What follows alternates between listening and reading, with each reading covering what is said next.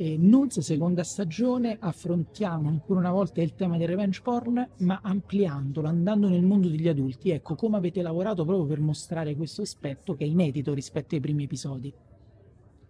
Vado. Il, ehm,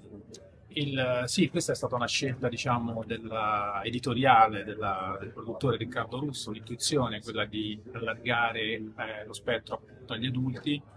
e, e, secondo me è stata una scelta interessante che mi ha convinto proprio perché eh, la diffusione di materiali intimi non consensuali è una cosa che riguarda eh, non solo gli adolescenti, anche se eh, dire, è sicuramente un fenomeno molto diffuso tra gli adolescenti, colpisce soprattutto le ragazze, solo comunque.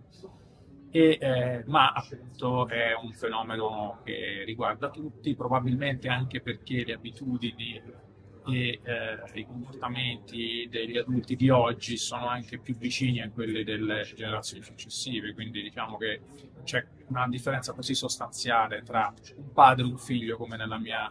storia eh, interpretata da Fortunato Cellino e, e Lorenzo Sarcinelli, dove comunque il padre utilizza i social per il figlio e, e intessa relazioni anche sentimentali anche attraverso strumenti tecnologici. E quindi in qualche modo eh, anche il revenge porn con tutti gli affini è un, uh, un fenomeno che può colpire tutti, compresi gli adulti, adulti che a volte addirittura in certi casi sono anche meno strutturati eh, dal punto di vista per esempio eh, tecnologico, eccetera, eccetera, e quindi risultano paradossalmente anche più indifesi, no? Hanno un'ingenuità tecnologica. Sì, anche, quel, anche, per quello che riguarda proprio i temi del revenge porn, diciamo che negli ultimi anni se ne è cominciato a parlare molto, eh, anche grazie a questa serie, ma anche eh, sono state fatte campagne di informazione, sensibilizzazione, eccetera. Adesso forse è il caso anche di appunto, eh, ragguagliare anche gli adulti sul fatto che le loro vite possono andare in frantumi esattamente come quelle dei giovani. Ecco la tua Volevo opinione su questo. aggiungere una piccola cosa proprio su, sulla decisione di eh, BIM, di Riccardo Russo, di parlare degli adulti. E in realtà la serie si, si, si concentra sugli adulti, ma eh, non lascia fuori tutto il mondo degli adolescenti, mentre nella prima serie ci eravamo focalizzati solo sugli adolescenti e gli adulti rimanevano in ombra. Io credo che una cosa bella di questa nuova stagione sia che c'è un fuoco sugli adulti, ma non c'è un problema come questo che colpisca un adulto che non colpisca anche gli adolescenti che sono attorno a lui. Quindi nei nostri casi abbiamo alla fine sono casi che raccontano le famiglie, un adulto che rimane intrappolato nel dramma del revenge porn porta questo dramma a casa e quindi le conseguenze sono sofferte anche dai figli. Quindi c'è una, bella orchestrazione di scrittura eh, di eh, adolescenti e adulti. Quindi i nostri sceneggiatori, che sono D'Annunzio Paproni e Piacerelli, si sono concentrati sì sugli adulti, ma hanno creato anche dei bellissimi eh, personaggi di adolescenti. E il, il mio episodio diciamo, è un episodio, un ponte perché ancora abbiamo un adolescente protagonista ed un adulto, quindi è una specie di passaggio dalla prima stagione alla seconda. Però eh, c'è stata una ricerca appunto da parte degli sceneggiatori di raccontare un'arena il più grande possibile. Il fuoco sì sugli adulti, ma ci sono dei personaggi eh, di adolescenti molto intensi, molto belli perché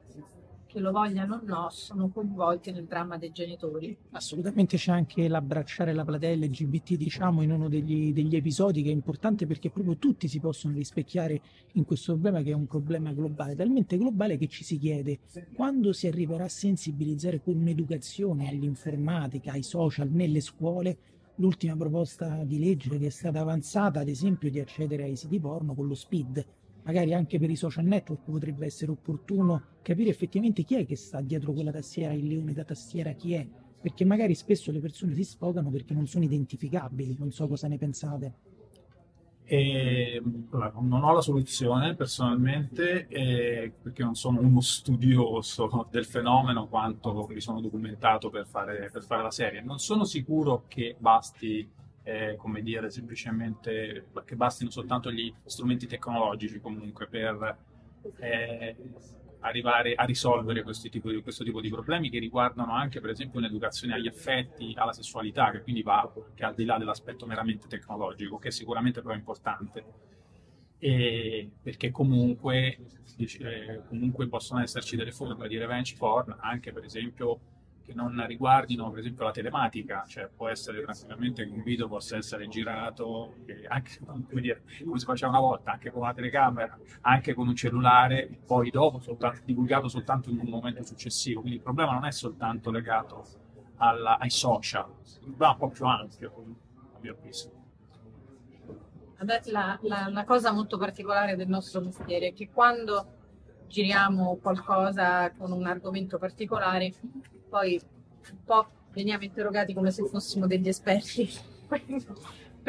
noi entrambi abbiamo fatto ricerche e facciamo ricerche nei nostri film, però non possiamo parlare a nome degli esperti o come esperti, possiamo dare la nostra umile opinione. opinione. E io sono pienamente d'accordo con, con Marco, non è un problema di tecnologia, è un problema di educazione sentimentale, è un problema di educazione ai sentimenti come la rabbia, l'invidia e la gelosia, che prima di essere metabolizzati vengono messi sui social. Allora bisognerebbe forse, e lo dico con grande semplicità, umiltà, ma da madre, bisognerebbe fare un passo indietro e pensare all'educazione sentimentale della gestione di un sentimento come la gelosia, perché prima che venga gestito è già pubblicato, e quello è il grande dramma.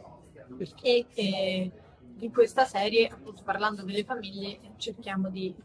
no, mettere in luce il problema da sotto tutti i punti di vista, non solo quello degli adulti.